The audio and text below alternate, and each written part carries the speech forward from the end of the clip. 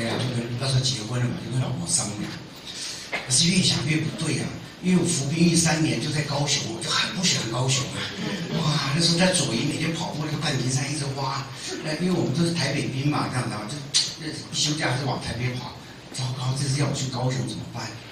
看一下，哎，就看报纸，哎，花莲美伦大饭店应征工程部经理，我就跑到美伦饭店来应征，运气多么好，跟董事长现场面试。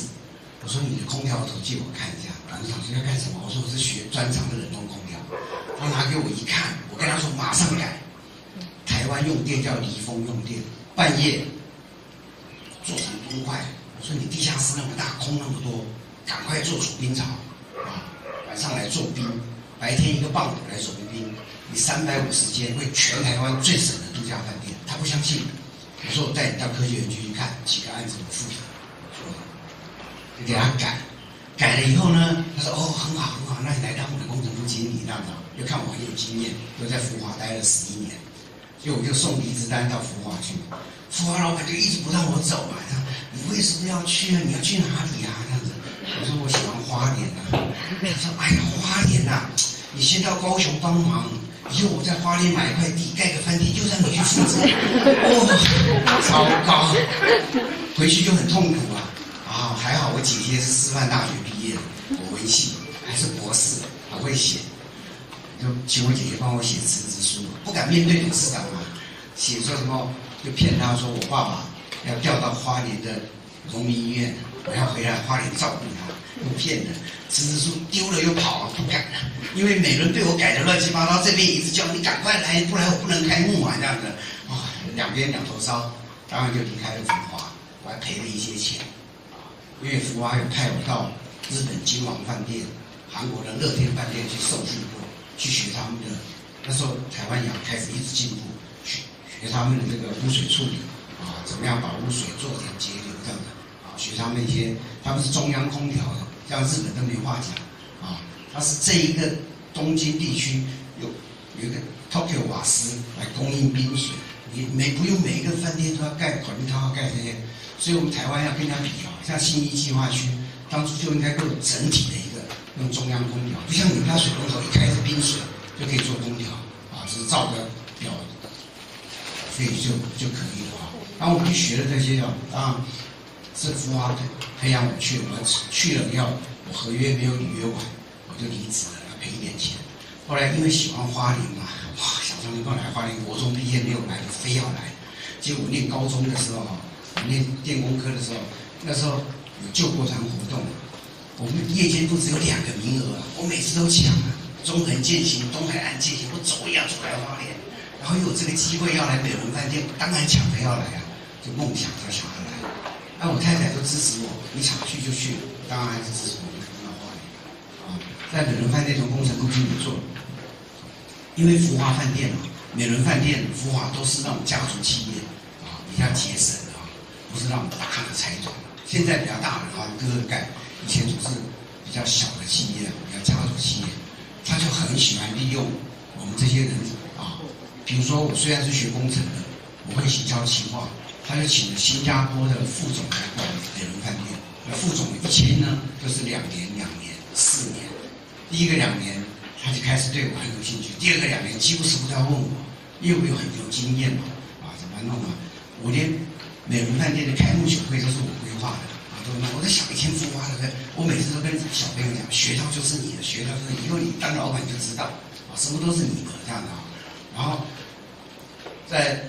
这个女人饭店这个四年的合约，啊，新加坡的副总他要回去，他就跟董事长推荐，说你也不要请什么管理者啊，请谁啊，就把郑林刚啊，他就叫周师傅英文名字，把他升为副总经理。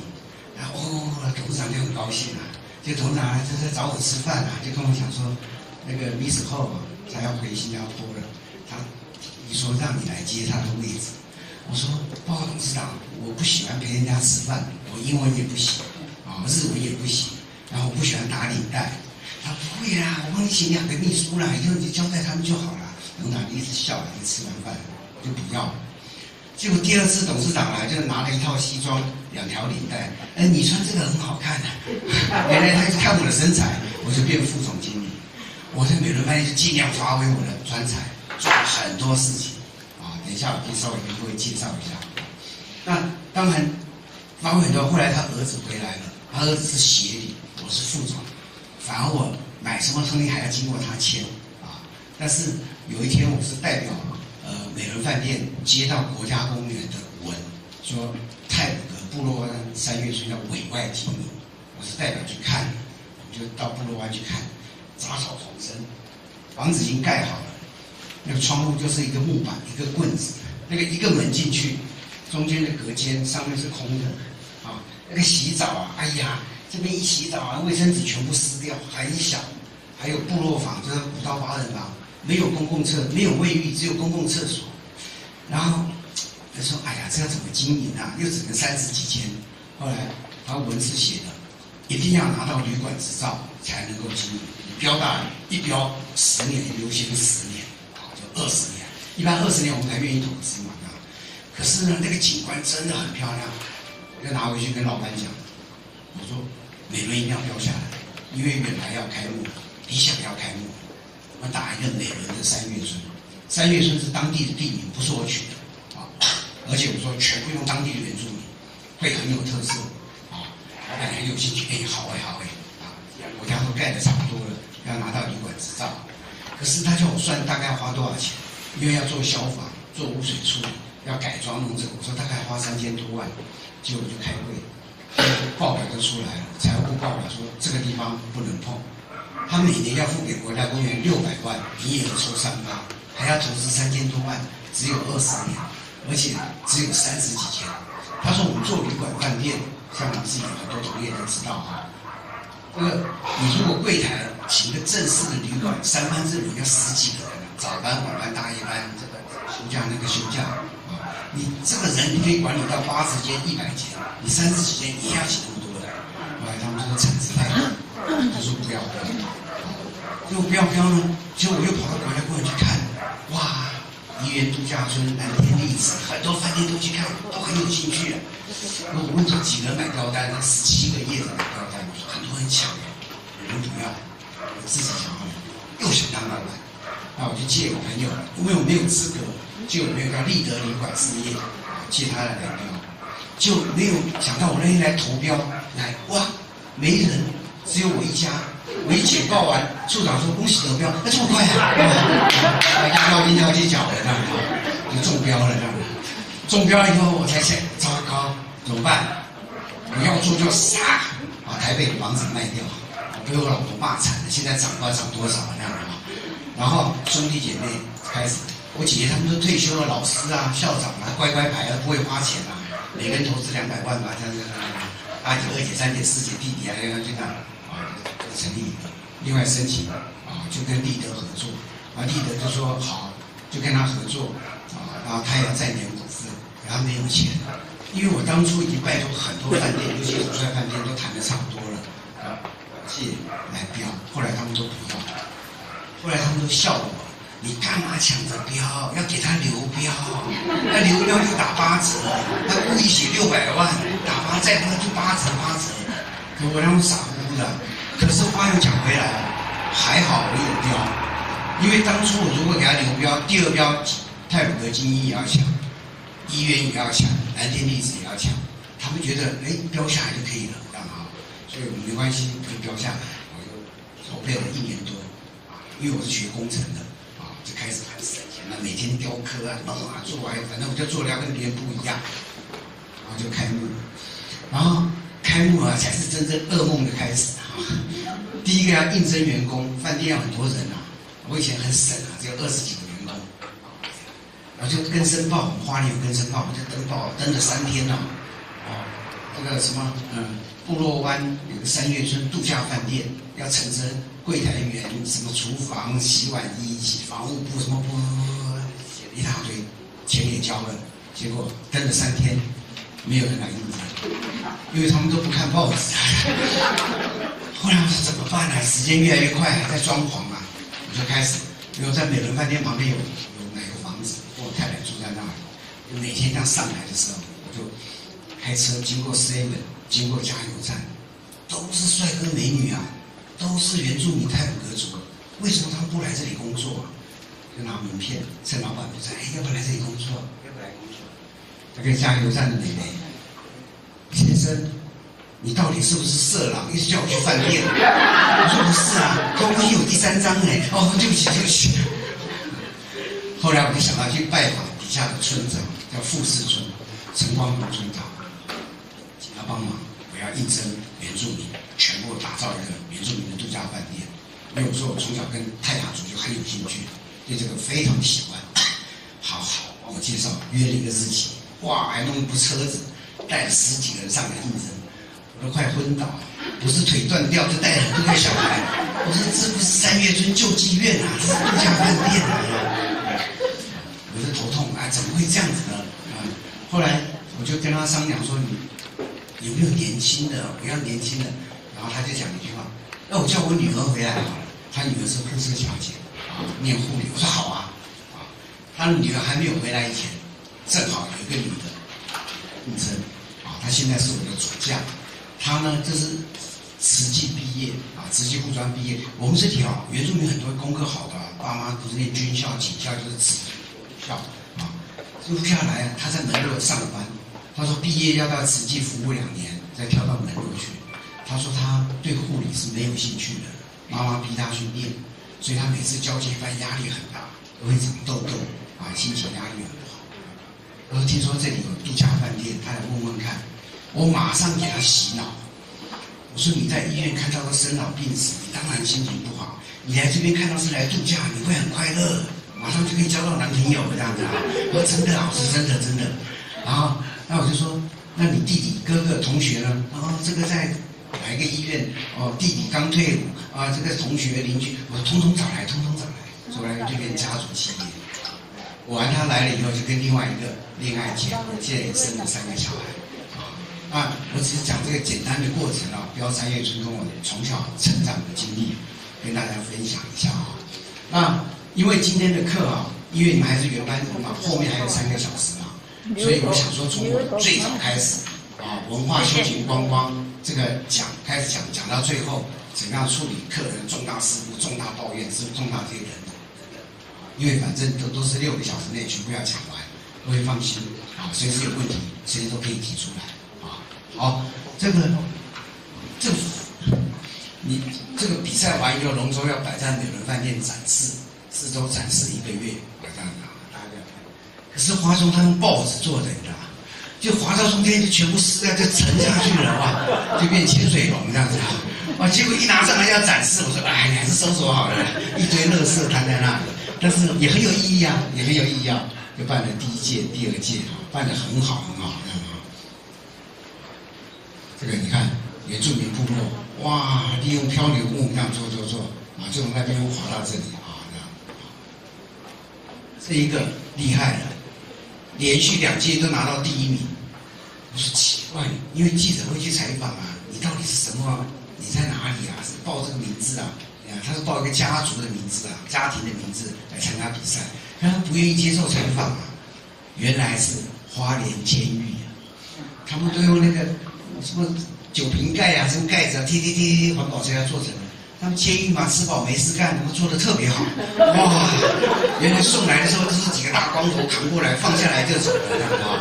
难怪都第一名啊，很厉害啊！哇，这蔡一昌回家捧场啊，蔡爸爸棒球教练啊，你看用这个竹扫把来当奖啊，很有意思啊，很有意思。也是一个很好的一个素材啊。那时候认识你们太晚，要不然叫你们睡睡，我爷爷弄条老虎来划。其实这是一个无形的广告。以前我办这个活动，只要一办，你晚上看新闻报告新闻就有。啊环保龙舟比赛，这个还是啊，今天第第一名是不要钱的广告，就帮你打出去了，啊，广告效应是非常大的。当然现在很难了，现在媒体都要钱，啊，像年代，你只要给他钱，他就可以骂你，也可以骂你。所以现在记者啊，很没有尊严，他们自己也知道。以前我们对记者多么好啊，来这里送这个送那个啊，请他帮你写一篇。现在你做的再好，上面指示你也没有办法帮你登录，都要买广告，买广告。所以时代是变了，这环保龙舟办了几届啊？后来局长跟我讲说啊，村长，之前办了好几届，可不可以再弄点花样啊？他每次都把题目问题丢给我，我说好吧。日本有个节目叫变变变啊，我说我们环保龙舟划到中间也可以变变变啊，做，一个几秒钟有多少分数？他说好。可是呢，呃，那天上次这个变变变啊，这条龙舟的第一名啊，它叫做阿坤铁工厂第一名，它很棒啊。它虽然是铁工厂，那时候有个有一个店叫做海神号，有一个女叫罗斯，她有个女的是罗斯坐在那里，就用保利龙撞到冰山，结果用那个我们 A B C 干粉，另外一个海龙的唰，然后在岸上就放炮，嘣就表示爆炸，这个龙就切分开来了，它是有螺丝啊，好，开关一打开，前后分开，每个人都跳水，就等于说变变变大。结果这个创意得到第一名，记者要采访，哎，你们阿坤铁工厂在哪里？在花莲？每个人都跑掉了，也是不给采访。是监狱啊，我都不敢讲，啊跑了就算了。啊，后来这么多年以后我才敢，原来这条龙都是美伦工程部，是我叫他们弄的。他们自己美伦那边自己报名，自己拿到第一名五万块，哦，他们好爽，就分了，房子给他们快乐。其实我的目的是要。提醒大家多一个创意，要激励大家要有新的创意啊！这也很棒啊！这是一个一个社区，你看玲珑三姐妹也很棒啊！这个就是它的变变变，就但是很不错，这么大一条漂流木，因为浮不起来，所以要加了四个这个啊！然后它的变变变是在上面放一个瓦斯炮、竹炮，让它这也不错啊！反正每一个都有他的想法。这个很棒，啊，这是牛山湖亭，啊，它这这条龙报名的时候叫做呃卧虎藏龙，啊，跟名字很像，啊，非常棒。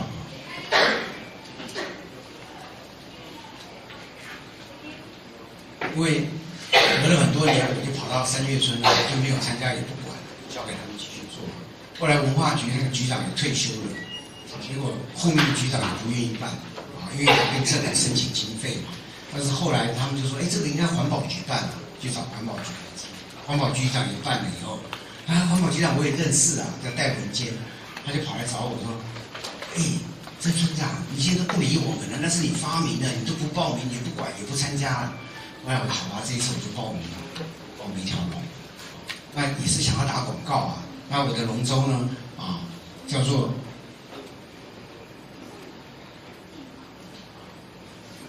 那时候有 SARS 才不久啊，就然后他得到 SARS，啊，刚从中国大陆广东来到我们利溪上，上来以后呢，然后被我们的原住民看到了，就要把它消灭，就拿它毛，啊，有有一个原住民就跳水游过去，拿矛要刺他，啊，然后他就中枪了，然后另外一个射手射箭，咚就把他射进来，啊，真的射箭哦，很准哦，啊，他真的很准，啊，把箭这样射进来。射进来他就变，把衣服脱掉以后，然后他还把那个黑色的胶布就纹面了，就变成一个 变成一个勇士。泰鲁格族就有名出草要砍头，要把这个龙头砍掉，啊，一砍其实他是靠底就拉起来，啊，一砍就把他拉起来，就我这个被广告被警告说你这个龙舟表演时间超过太久，就一拉起来就变成一个很漂亮的一条龙。啊那这条龙呢，我们就给它顺便给它装牙齿啊，然后装龙角啊，最后要点灯，要准备要划回我们泰鲁格啊，好，点要眼睛要点睛，用两个橘子把它装上去。结果这个没有预演啊，我们的员工现在还在，很饱啊。他是他说要准备要划回去的时候，他就大叫了，他说呃，他这一辈子啊都在山里面、溪里面游泳。从来没有在国际观光饭店游泳过，所以他要表演屈原跳水。好吧，随便你嘛，啊，他就要表演屈原跳水了，啊啊，就咚这样跳下去，啊，跳下去以后，我们这些小朋友啊，因为他那个把这个龙头拿到上面来的时候，我们要庆，要把这个龙头给去除恶魔。这边还在还在展演啊，点睛哦，就在跳，看他跳出来，每个咚咚全部跳下来。顺便也带他们去玩，主要是广告啊，借这个机会啊，啊，做一条龙舟啊，做一条行销，做一个创意的广告。啊，接下来跟各位分享是啊，那因为在三月村待久了嘛，推文化，老外越来越多，后来我们中国我们也越来越接近，但我没有接一般的旅行团，因为房间数太少，还有我的房价太贵。可是自由行的人慢慢就有人来啊，中国大陆自由行啊，有个北京的啊，他就来呀，他就一直说啊，你这个实在是太棒了，你可不可以参加这个中国古村镇的大会？我说不想去啊。然后他也是跟我讲说，我们那个大会啊是要买票来参加的，不是随便参加的啊。这一次办在古北水镇啊，他说你的飞机票、吃住、机票通通给你，你只要来介绍你这个地方啊，就代表台湾，一直叫叫我去。真的很不想去啊，这样的。他说冬天又很冷，他说请你帮忙，一定要来。他说最主要那边有媒体效果，因为他们会现场转播，而且还有什么西城网会在现场。我一听到西城网我就有兴趣了，因为我们的地板公司就跟西城网合作嘛。哎，好吧，那就决定去了。我就跑到一个人跑到中国大陆去啊，啊，反正哇，贵宾式的接待，几点的飞机到马上就有接你，再开过去来呢。可是跟好像是在。盯着你啊！那到了到了那个湖北水镇，因为到了北京再要开两个多小时才到湖北水镇，然后进了大饭店以后，然后都天黑了，他问我要不要吃东西，我说吃不下。然后明天早上早餐几点钟？他会在门口来接我。不用啦，我说我是做酒店的，你说早餐让我自己会找啊啊！他给我一张卡，那张卡有两千块，他说你这几天随便你花啊，花不够再跟我们讲，这个卡就随便用。别什么随便花的，想说，因为他他办六天五夜，我是轮到我明天演讲，今天才赶过去，而且讲完我就要想跑了，不想待在那里啊。结果我那天去就晚上已经第三天了，第四天是我演讲，我就去了。去了以后呢，我说你不用我自由行啊，你不用管我。第二天会场在哪？我一问，就住在饭店里面嘛，一定是宴会厅嘛，想也知道啊，他就非要来接我，早一开门就吓一跳，就站在门口等着。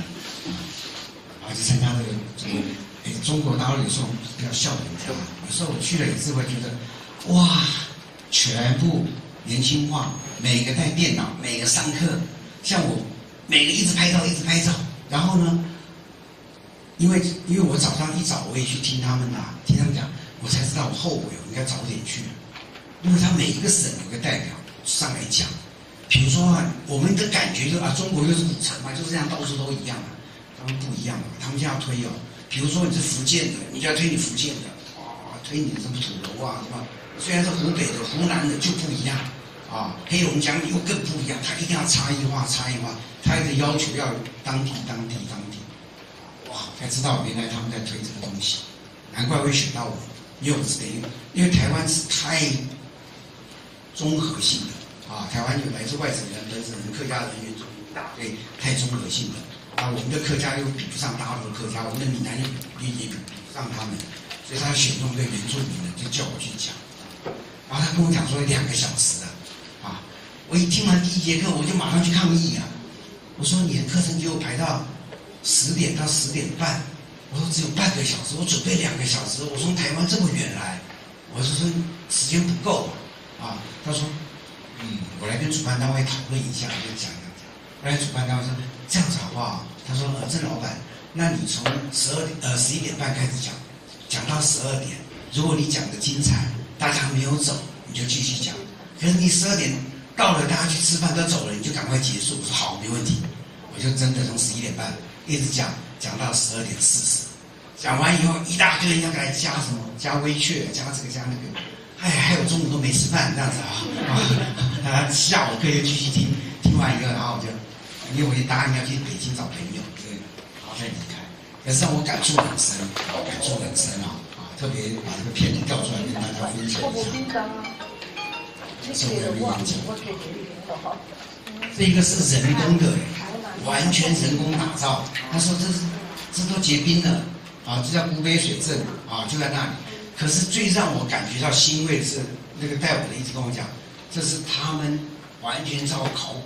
完全一砖一瓦一瓦把盖起来，可是那一个度假饭店是我们台湾设计师设计的，台湾设计的啊，然后台湾设计就很强啊，啊，因为下完课了，天也还没暗呢，我就要去逛嘛，湖北随便逛嘛，冷的要死啊，人又很少这样子啊，然后他问我说：“哎，个郑老师，你今天晚上要吃什么餐呢？”我说：“天气好冷啊，来点火锅好了。”他说：“好啊，要吃这么晚。”我说：“越有北方味越好。”但是我说有一个条件，他什么条件？我说：“你要陪我吃哦，然后我们要喝两杯啊。”他说：“不行的，领导会骂。”我说：“叫领导一起来喝嘛，这样子。”结果果然去吃饭之后，领导看到了，他赶快站起来。我说：“哎，领导没事，你也过来坐嘛。”我特别要求他陪我坐的。还喝两杯，领导说可以可以行行行，然后我要走了，我就把那个两千块那个卡跟划不完就送给他，哇，高兴死了，啊！大费送的嘛，我们也没有用，回到台湾干嘛？但是我特别要讲的是，白天看起来这么朴素，都是古色古香，然后到了晚上你会吓一跳，哇，原来这个灯光设计全部藏在里面，全部一打灯，整个像个夜城一样，夜城啊。我住的那个饭店啊，湖北之光啊，温泉度假酒店，台湾人设计的啊，这样子，文文文创商品啊。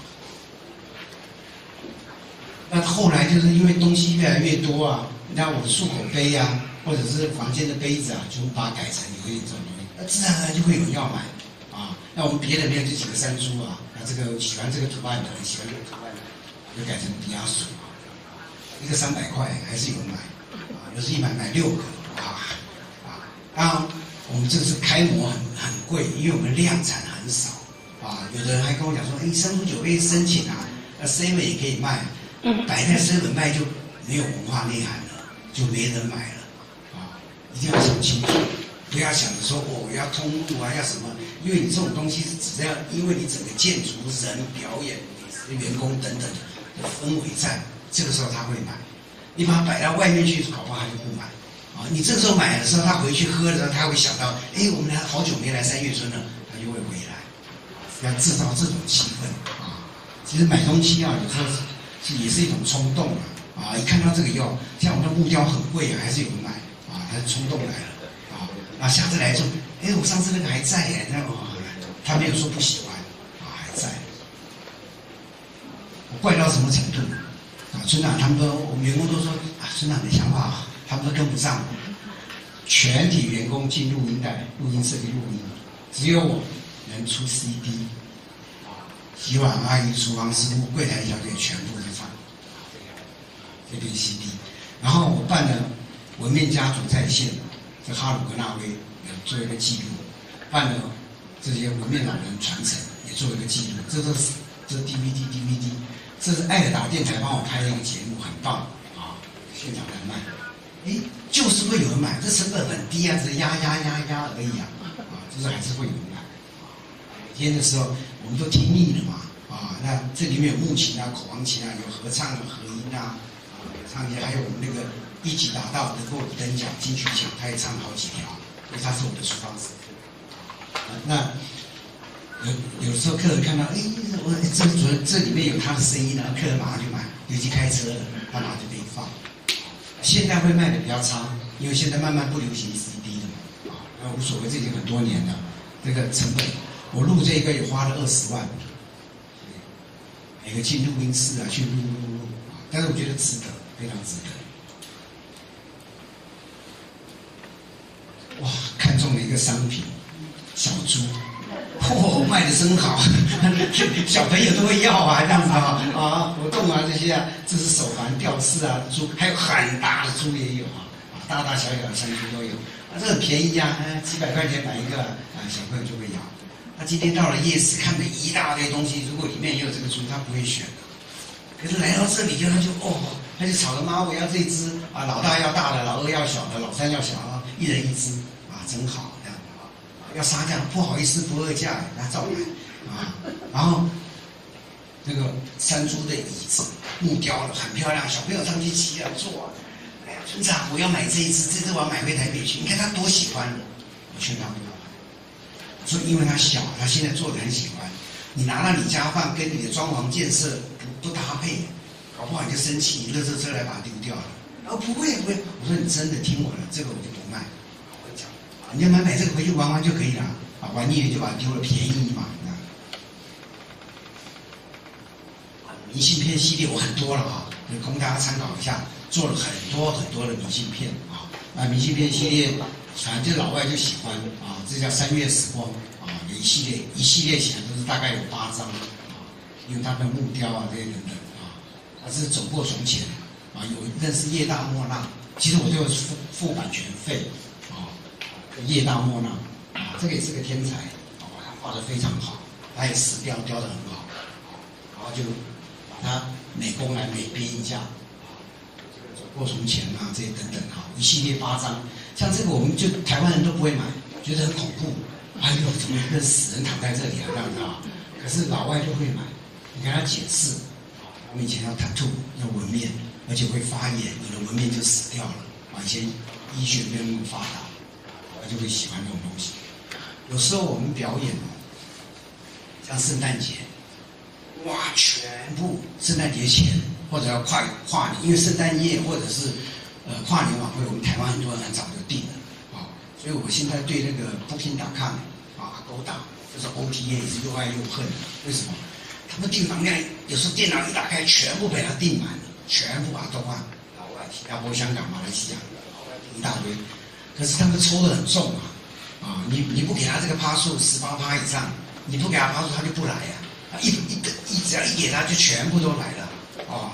那老外就会来了。那老外来的时候，我们不是晚上要表演吗？那小朋友跳舞，A 团、B 团、C 团，A 团、B 团我都不请。虽然老外有六十个、七八十个，我全部用 C 团表演。因为老外他，我们 A 团、B 团比较会互动，跟客人互动。台湾人讲国语的，中国大陆的互动。那老外听不懂啊，这个翻译又很难翻。虽然有个翻译的，很难啊，全部用 C 团。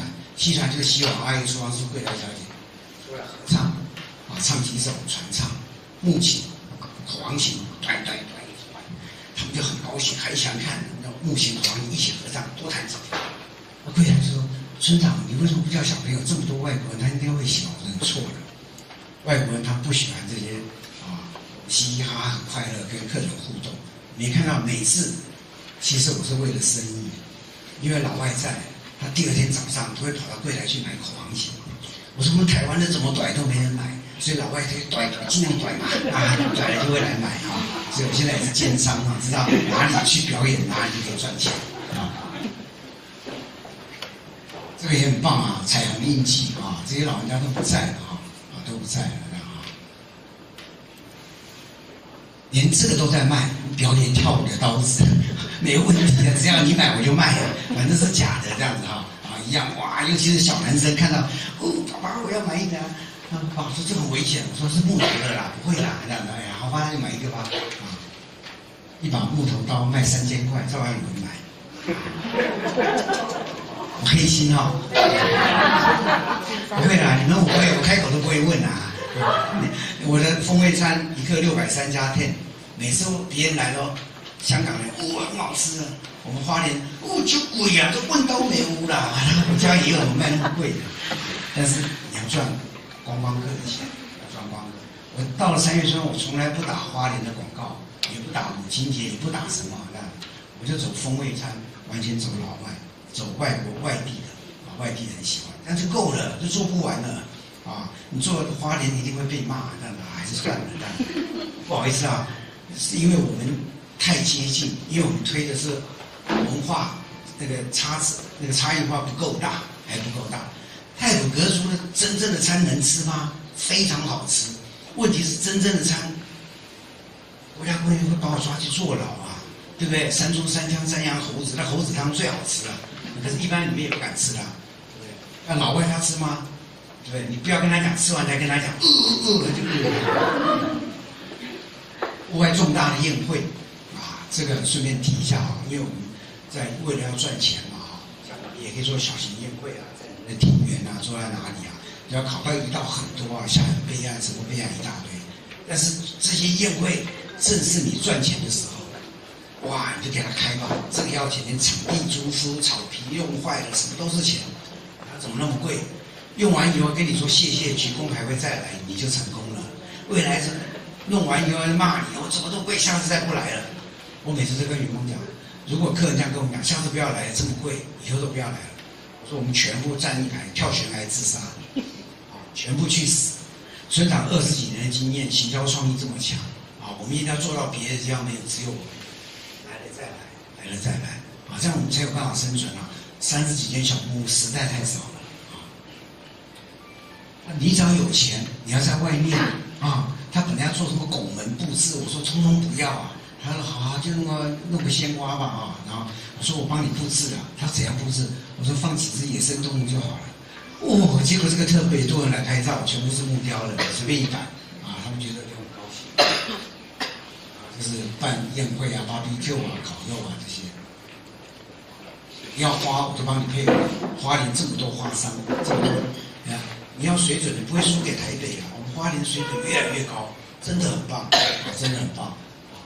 最近办了一场这个，是二月份的时候才办的，啊，那时候已经是过年时候就已经有这种啊疫情了，啊，我也很担心呐。是台北来的客人，两个年轻人啊，那他们是自己来住过，又来谈了几次，他就非要办。非要搭棚子，四点钟要在那边行礼，行礼完以后要一个酒会，酒会完以后 party，啊就吃饭，吃完饭以后，然后再到，因为要点萤火，要一起跳舞，哇，然后他那时候刚开始跟我说有一百八十个人，我说住不下了，我才三十几天，他说啊可不可以搭点帐篷，给他自己的亲戚还有工作人员睡帐篷，那我有两个有平台，说可以啊。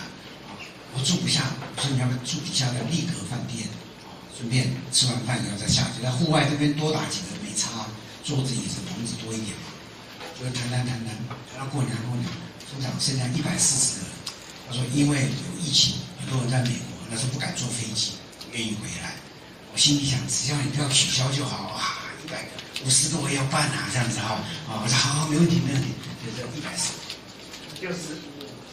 那结果就不用搭帐篷，实际上住在三月村的大概九十八个，有四十二个怎么住呢？很有意思哦，啊，他把他们家里双方的家长，阿公阿妈、爸爸妈妈那种年纪大的，全部住金华酒店，金华酒店游览车接到我们门口下来参加这个婚礼会礼，然后晚上带去那边啊萤火晚会，跳完以后，我们恭请。这些什么什么，去上车把他们赶走，去住金华酒店，因为他们继续开 party，闹到半夜三点。反正你包村了，你吵了，你付钱没差，对不对？而且他请两个 band，哦，很有钱。然后他们调酒师啊，光这一个棚子调酒，三个调酒师从台北来调酒，哇！其实我那时候想，他妈的，我这算太便宜了，你好好捞你一下。原来他们上柜上市公司的有钱呐。但是算了嘛，已经讲信用办好以后，那很感人的，就是前段时间，呃，刚开始疫情真的很严重，动了。我们以前当军人，士官长退，没有想到有一天会总统唱歌给我们听那样的，啊，其实也很好玩的，啊，太太啊，太太比较低调，啊，比较客气，然后我们表演完送他太太回房间。不好意思哦，因为我我下午有很重要的事情，一定要赶回去啊。要不下次再讲。抱歉啊，因为中午又不能吃饭，来不及了。我因为我已经跟那林小姐讲说，我今天一来讲完我就要冲回去了。那下次来时间会多一点啊。那你放心，我的课全部会上完。下次我们讲一些重要的一些一些事情。那我的课是比较像聊天，大家互相这样啊。有什么问题，我们下个礼拜各位再举手来问。所以我先离开可以吗？啊，那，不爸爸不爸来。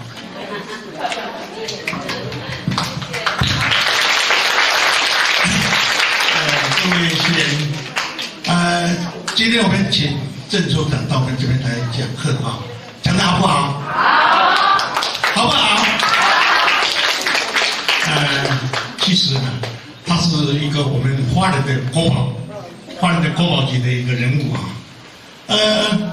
他是饭店业，呃，无所绝对是跟华人特别多的，啊，呃，他的经验经历啊，绝对是啊，我们华人的这个第一把交椅啊，第一把交椅。那呃，其实下午下午不是我，不是我，我是下下一次下下几号？其实很可惜，抱歉啊，因为我。我下午正好也是接一个重要的事情。所以我十三号再来。本来是今天的。呃，他是很有点子，我们花莲的点子王，哎，点子王，呃，就对我我失去这个机会，下次来的时候呢，请大家给他挖宝，啊，给他挖宝，很多很多的那个呃，教育东西，他是他就是麻烦，他是一个花莲的呃旅游业的这个活字典啊，呃，希望大家能够把握这个机会啊，谢谢，辛苦了。不好意思啊，各位因为因为我今天正好有事情啊，不好意思，因为我一定要赶回去。刚刚拜托他说，本来一整天的，呃下午正好也要要赶回去，然后十三号我就可以多留一点时间。各位有什么问题？二十号。哦，二十。二十号。二十号，二十号。下礼拜。因为我也问过嘛，他说同班人马就可以了。如果不是同班人马，我可能就要先讲那个抱怨处理啊，对不对？这个比较很多很多那个书本上都有，所以我就讲一些比较文化观光的。下个礼拜我一定会讲抱怨处理。好，谢谢大家啊，谢谢。我们再一次以热烈的掌声，谢谢我们的村长，谢谢。听他上课是不是没人睡觉？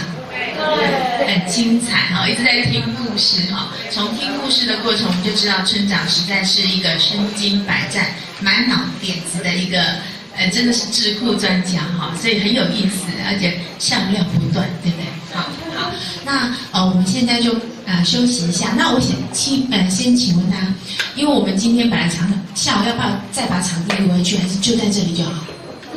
这里就好，好。如果大家不介意，我们就在这里。那我会把后面一些椅子换成比较舒服的，因为我们的那个昨天又下大雨，有一些黄色比较舒服的椅子没搬回来。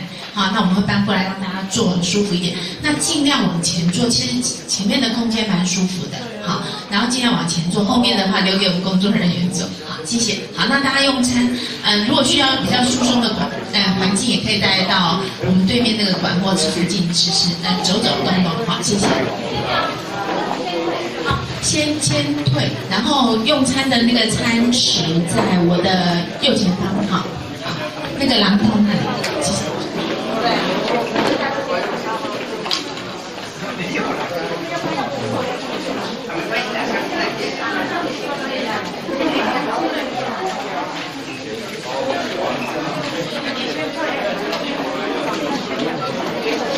现在那我要啊，你有帮你签下来了。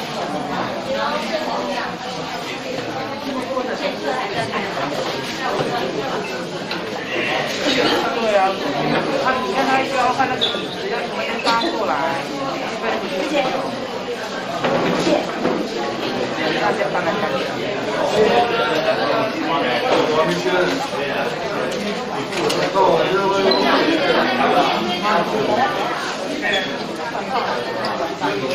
녕하세 요.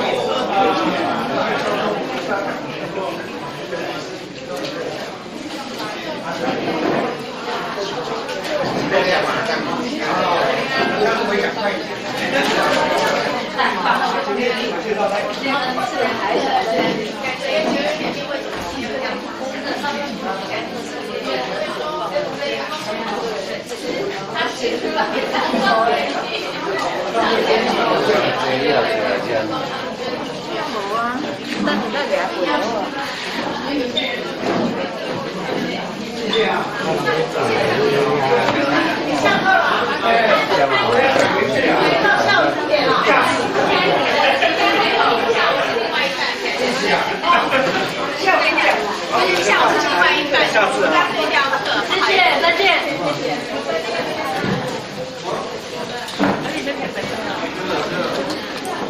要不要起来啃啊！